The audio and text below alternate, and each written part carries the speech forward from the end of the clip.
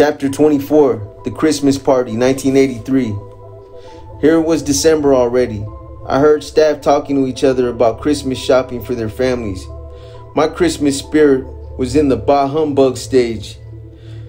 The jury was out for 15 days before returning a verdict. After the first week of deliberations, my attorneys were very much in the spirit. They asked the judge for permission to bring in outside food for a Christmas party at the courthouse, which he granted. My spirits were lifted when the various foods arrived. There were burritos, chips, soda, beans, potato salad, and all kinds of pies. There were lemon pies, banana pies, coconut cream, and pumpkin pies. That kind of food was never seen in prison and tantalized the palates of the three of us. Even the clerk of the court had it in her heart to bring a homemade lemon meringue pie to share with us. Not everyone thought badly of us. A camera was allowed in and Christmas pictures were taken of everyone. My attorney even brought me some new clothes to wear. For the first time in a very long while, I sincerely felt a warmth in me. There were a couple of court bailiffs there for security, but that Christmas party was a welcome distraction from what had been going on for the past three years.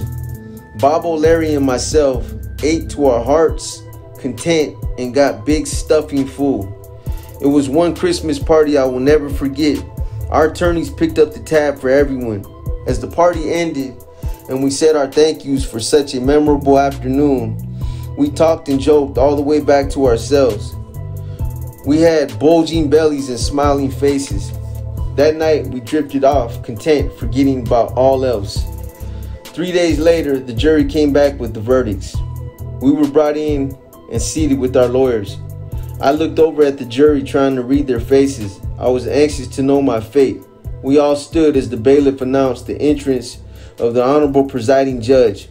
Everyone was seated. The courtroom grew hushed and dead silence as the jury foreman handed the verdict form to the bailiff, who handed it to the judge. The three of us stood with our attorneys for the pronouncement. Camera shutters clicked and flashes exploded with bright light. Here were the pictures to go along with tomorrow's headlines. Then the verdicts were read. The courts were split evenly among us. We each received four counts of murder. After the verdicts of guilty were read, the three of us agreed and told our attorneys to waive our appeals and get on with the sentencing phase. The judge pounded his gavel several times to quell the noise and obliged us with his edict after the commotion had died down. The following sentences were pronounced for each of us separately. I received four seven years to life sentences, one for each count, to run concurrently with the life sentence I was already serving. I took a deep breath, turned, and thanked my attorneys for saving my life. For an instant, my mind lapsed back to the memory of the day we went to the hole for this very crime. And now, after five exhausting years, the trial was finally over. I felt like the weight of the world had been lifted off of my shoulders. I hadn't received the death penalty, and that was good news. The bad was that I added four more life sentences to the one I was already serving. People who I had gone to battle for, guys that had been part of the organization I dedicated my life to, had turned traitor and testified against the three of us. They did it to look out for themselves. In a time of need, you find out who your true friends are. At 34 years of age, those life sentences seemed like an eternity to me. But then, in my mind, my heart and dedication was still with the Nuestra Familia. It was all I knew and lived for since my late teens. I took a deep breath, shook it off, and held my head high. After being sentenced, we were escorted back to our cells.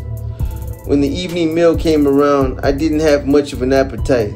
None of us did. It was quiet that night. Nobody was in the mood for chatter. God, the rest of my life in prison lay ahead of me. I was feeling so lonely at that moment.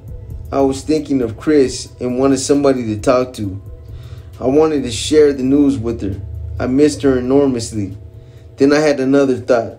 I didn't get the life without the possibility of parole sentence, so at least there was the possibility of release someday.